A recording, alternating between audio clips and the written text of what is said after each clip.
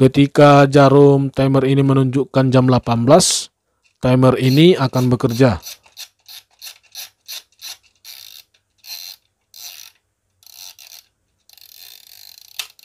Timernya bekerja.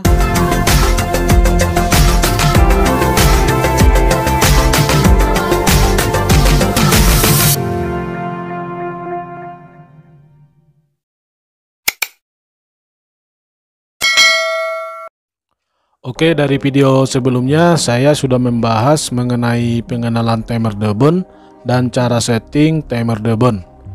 Di video kali ini saya akan menjelaskan cara pasang timer Debon dengan menggunakan satu buah lampu. Dan bahannya di sini sudah tersedia. Yang pertama di sini ada MCB, MCB untuk sumber tegangan timer ini. Terminal MCB yang sebelah kiri untuk netral, terminal yang sebelah kanan untuk fasa. Dan tentunya di sini ada timer Debon dengan tipe SUL181H. Inputnya tegangan AC dari 110 sampai dengan 230 volt. Dan frekuensinya dari 45 sampai dengan 60 Hz. Oke, kemudian kita lihat terminal timer ini Terminal 1, Terminal 2, Terminal 3, Terminal 7 dan Terminal 8. Dan di sini ada gambarnya. Terminal 7 dan Terminal 8 untuk input tegangan AC, Terminal 2 untuk common, Terminal 1 dan Terminal 3 untuk kontak output timer ini. Kemudian di sini ada lampu untuk beban. Oke, dan untuk instalasinya langsung aja Pertama kita sambung netral dari sumber, dari MCB kita sambung menuju terminal 7 input timer. Jadi terminal 7 input timer kita gunakan sebagai netral. Kemudian fasa dari sumber dari MCB kita sambung menuju terminal 8 input timer. Dan untuk output timer untuk fasanya kita ambil dari sumber melalui terminal 8 input timer. Maka dari terminal 8 kita sambung atau kita jumper menuju terminal 2 common timer. Oke teman-teman, jadi untuk instalasinya simple aja. Instalasinya seperti ini. Kemudian kita akan mengontrol lampu ini secara otomatis menyala otomatis dan mati otomatis. Menyala di jam 18.00 dan mati di jam 6.00. Oke, sebelum kita atur waktunya, di sini kita lihat posisi switch kontak timer ini. Di sini posisi switch kontak timer ini mengarah ke garis. Maka kontak timer ini dari terminal 2 ke terminal 1 kontak NC atau kontaknya terhubung dari terminal 2 ke terminal 3 kontak NO atau kontaknya terputus. Nah, kemudian di sini kita lihat jam sekarang. Misalnya jam sekarang jam 8 lewat 5 menit. Jam 8 pagi, status lampu dalam keadaan mati. Maka kita menggunakan kontak NO pada timer ini. Kontak yang terputus dari terminal 2 ke terminal 3 dan kabel pasa yang dari lampu kita sambung ke terminal 3 kabel netral dari lampu kita sambung ke netral sumber melalui terminal 7 input timer. Oke teman-teman jadi untuk instalasi ini saya akan jelaskan ulang.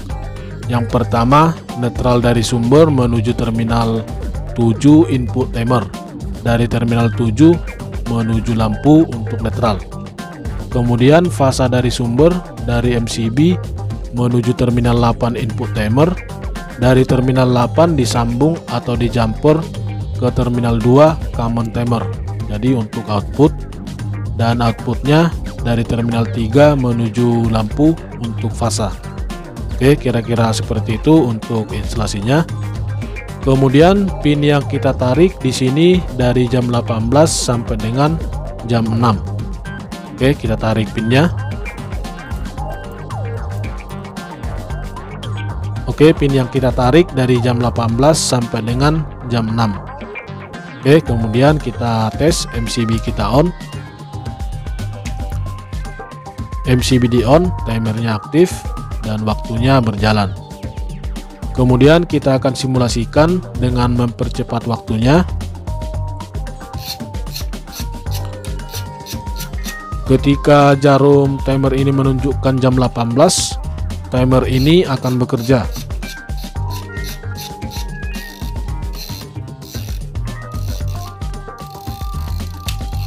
Timernya bekerja dan mengubah kontaknya yang tadinya terputus dari terminal 2 ke terminal 3 menjadi terhubung dengan posisi switch kontaknya mengarah ke titik.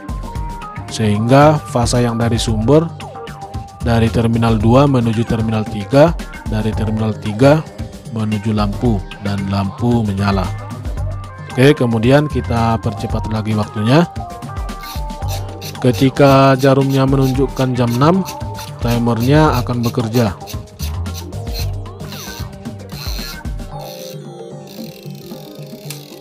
Timernya bekerja dan mengubah kontaknya dari terminal 2 ke terminal 3 menjadi terputus.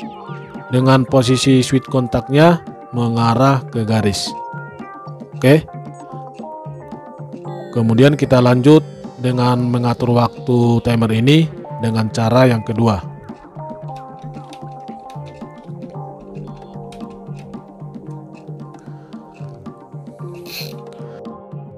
Sekarang kita akan tes dengan posisi switchnya mengarah ke titik.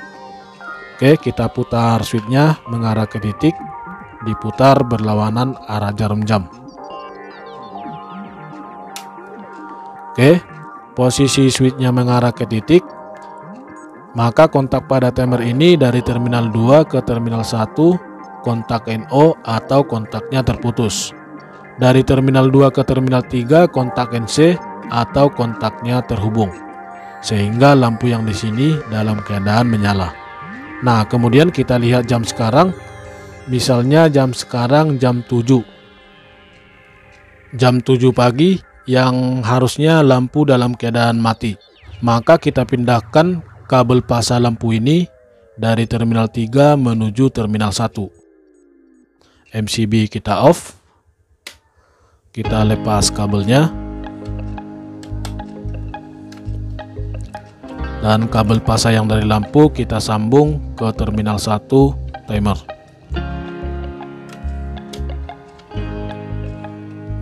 Oke, MCB kita on. Nah, jadi lampu dalam keadaan mati karena yang kita gunakan kontak yang terputus dari terminal 2 ke terminal 1 dengan posisi switchnya mengarah ke titik. Oke, kemudian dan untuk pin yang kita tarik di sini berbeda dengan switchnya yang mengarah ke garis. Jadi tadi ya switchnya mengarah ke garis, pin yang ditarik jam 18 sampai dengan jam 6. Nah, ketika switchnya mengarah ke titik, pin yang kita tarik dari jam 6 sampai dengan jam 18. Oke, kita tarik pinnya. Kita simulasikan dengan mempercepat waktunya. Ketika jarumnya menunjukkan jam 18, timer akan bekerja.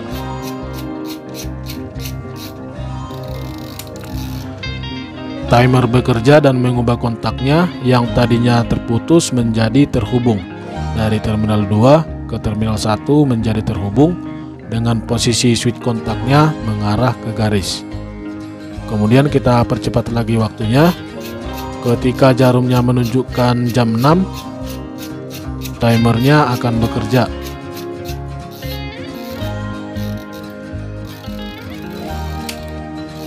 Timer bekerja dan mengubah kontaknya yang tadinya terhubung menjadi terputus dari terminal 2 ke terminal 1 menjadi terputus dengan posisi switch kontaknya mengarah ke titik Oke teman-teman jadi kira-kira seperti itu untuk instalasi cara pasang timer deben dengan menggunakan satu buah lampu